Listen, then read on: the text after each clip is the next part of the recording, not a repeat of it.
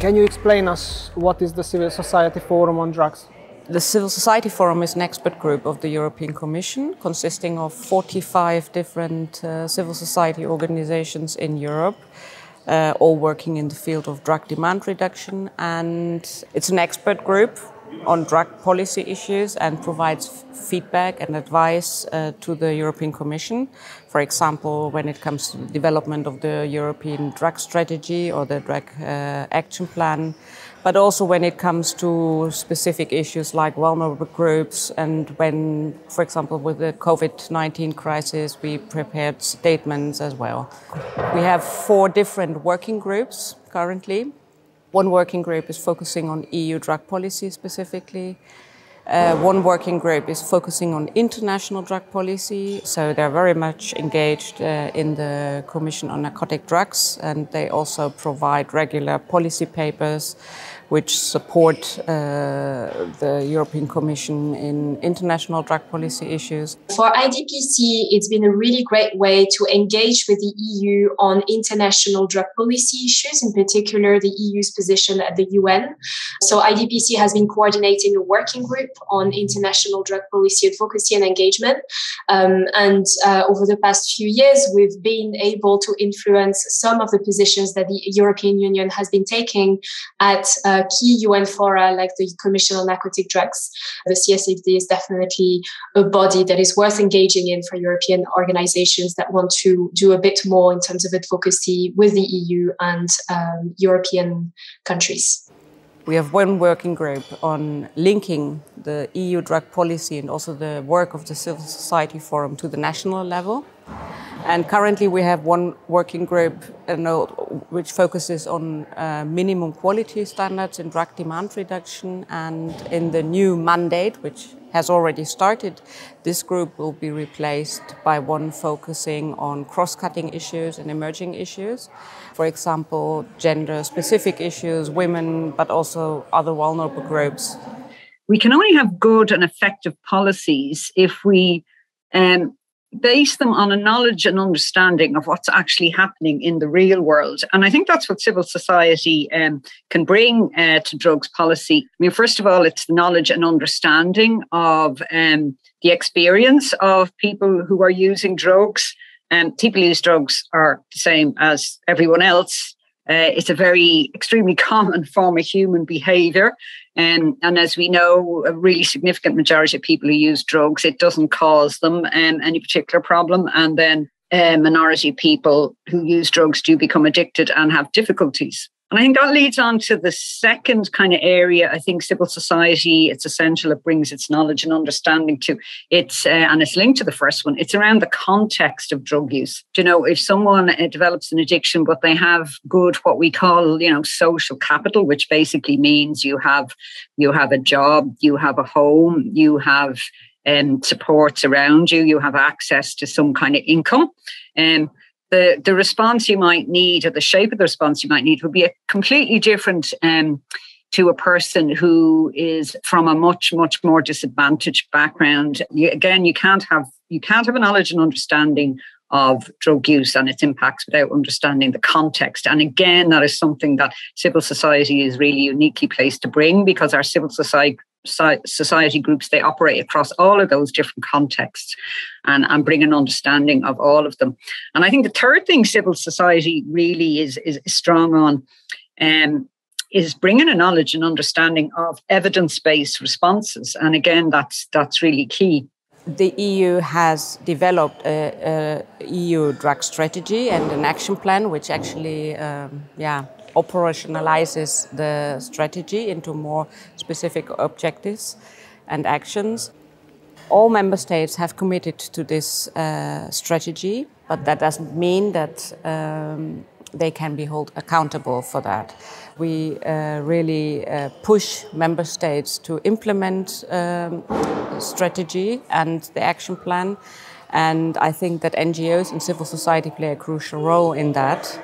The EU drug strategy can be an advocacy tool for national advocacy, and it can probably also hold national governments accountable for what they are doing in the field of drug policy. Rational drug policies could not exist without the civil society. However, it's up to you to force it. It's not going to do itself.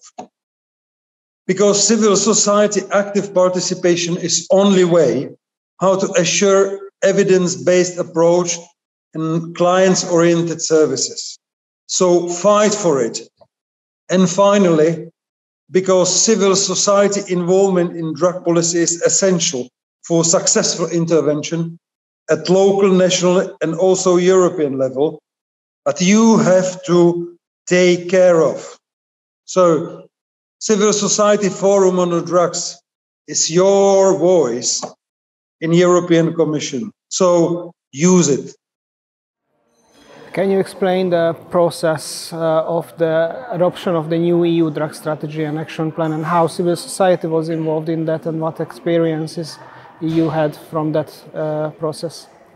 So, in principle, the, the, the, last EU drug strategy and action plan was uh, uh, civil society was very well involved and uh, could contribute um, really in a, in a very good way. The, the last strategy uh, was developed by the Commission in first instance um, without really providing civil society with uh, opportunities for input and feedback. And it was also that the member states were not uh, uh, involved in the draft version. And this actually um, yeah, caused some irritation or some criticism, uh, which finally made that the horizontal drug group uh, under the German presidency decided to draft a new drug strategy. And we are happy that the, that the civil society forum was able to contribute to this uh, to the drafting of this document. Can you highlight one of the, some of the most important uh, recommendations which were adopted and accepted by the decision makers? Mm -hmm. Yes, so uh, first of all, the inclusion of civil society in the implementation of uh, different services, mostly harm reduction services, and also the strategy includes a provision saying that um, appropriate level of funding should be also provided uh, to uh, to um, civil society organizations to make them able to involved in the in the provision of service uh, of different services. And what I personally think is very important is that uh, harm reduction for the first time kind of deserved um, a separate chapter. So it's not already in this strategy, it's not anymore included in the demand reduction under the umbrella with, together with prevention and, uh, and uh, treatment and recovery, but it has its own separate chapter uh, with, with uh, if I'm not mistaken, four specific strategic priorities. Does the new uh, strategy and action plan mention vulnerable populations? It does. It mentions uh, several vulnerable populations, uh, mostly young people, uh, also their families, uh, families of people who use drugs, uh, and women. So, uh, in the context of treatment, especially, the special needs of women and the need for development and implementation of services which, which respond to the specific needs of women are, are mentioned. CSFD member organizations boast quite different views on the reality discourse in the drug policy, representing a diverse groups, group of experts to the EU Commission.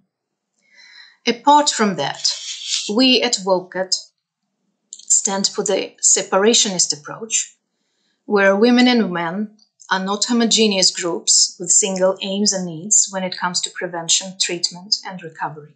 One size does not fit all. As a part of the Civil Society Forum on Drugs, WOCAD has been working on putting the specific needs of women on the agenda of the EU through the Civil Society Forum advocacy work.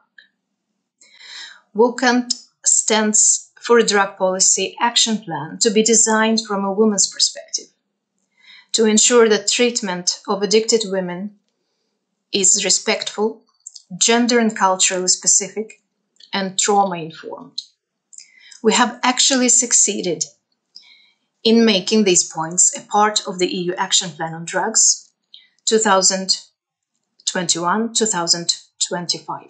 Drug policy work within the framework of the CSFD last year have resulted in the report on the quality standards of treatment and quality standards of civil society involvement, inter alia.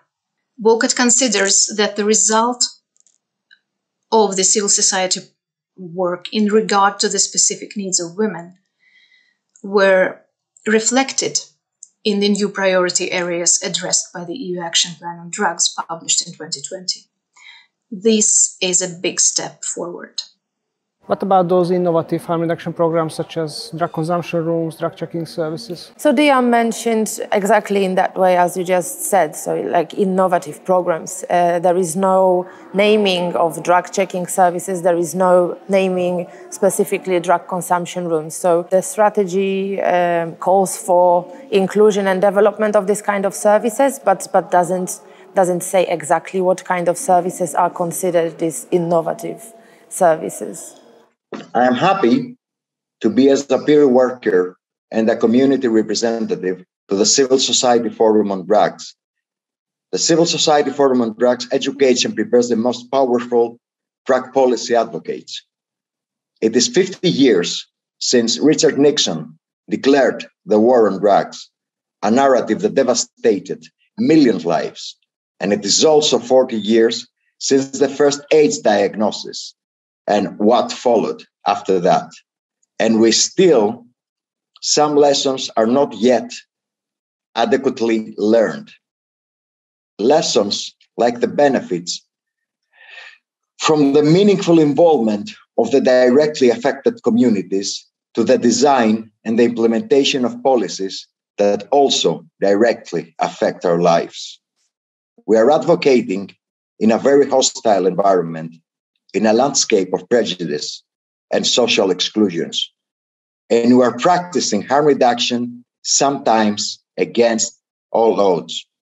The work we collectively do in civil society forum on drugs is extremely helpful, not only because it provides us with the appropriate legitimization as drug policy experts, but also because it provides us with tools for an efficient national level advocacy. People with a lived experience are drug policy experts by definition. And after so many years, our slogan remains the same nothing about us without us. We joined the Civil Society Forum on Drugs because we strongly believe in the meaningful involvement of civil society. Unfortunately, there are vulnerable groups that are invisible in our communities, in our societies. I'm referring to children whose caregiver use drugs problematically, whose needs are totally unattended. The only option they normally might have are being separated from their parents with huge suffering for them and for parents as well, and with negative consequences on both, or being totally ignored, abandoned, and stigmatized. There is also another group of vulnerable people whose voice is often not listened to and their difficulties underestimated and unaddressed. I'm talking about people in recovery, those who decided to quit using for many different sometimes personal reason, but often do not have an identity and find it very hard to get their place in society. There are millions and millions of people in recovery around the world ready to give their positive contribution to society if they find welcoming and not judgmental communities around them. Similarly to the issues related to children whose primary caregivers use drugs, also the necessity of creating conditions which are favorable to the full social reintegration of people in recovery should unify all the members of the civil society forum on drugs as all of us i think care about people with drug and social exclusion issues. Our organization parsec cooperativa sociale has been interested in harm reduction since the early 90s and has been um, a member of the Civil Society Forum on Drugs, CSFD, for some time. for us, uh, civil society is the place where, uh, through discussion and uh, participation, we can change the structural causes of the problems that, that uh, affect the lives of uh, people uh, who use drugs looking at what causes harm also must include looking at harms that are caused not just by the drug use or the addiction, but also harm caused by bad policies. Because again, um, you know, that, that has to be part of our knowledge and understanding is that policy isn't neutral. Civil society, we, we have to engage with policymakers, you know, because the, the kind of knowledge and understanding we have is essential to the process. But we do have to engage with them in a way that's evidence based, but that also maintains that independence independent kind of critical voice. That that's that's the reason we're there. The members come together once or twice per year, which and these meetings are covered and financed by the European Commission. But in principle, you can imagine if we really want to do meaningful work and uh, do something uh, with more impact, we realize that we need more financial uh, resources and support. We agreed to have uh, to put forward an application uh, under the DG Justice uh, Drug Policy Initi Initiative Program. We have had now two projects, uh, each of them for, uh, for two years. The current project will end in 2022, January 22. And unfortunately, we will not have any uh, project funding afterwards, which also means that the CSFD, as it is now, will not no longer be financed or additionally financed uh, through the project funding. And this is problematic because we have seen that uh, we were so much more meaningful impacting in the past years. We could really do things. And we are slightly concerned that this will no longer be the case. So I think it is now key to discuss with the Commission and probably also with the Member States in how far they are willing to support the civil society, not only in words but also in, in acts or in actions. I sometimes have the feeling that civil society organizations in the drug policy field are somehow not seen or acknowledged as real experts. The same applies to people who use drugs, that I think there are not seen as uh, equal partners. When we talk, for example, about cancer, I'm sure uh, it would be very normal to involve uh, a patient organization.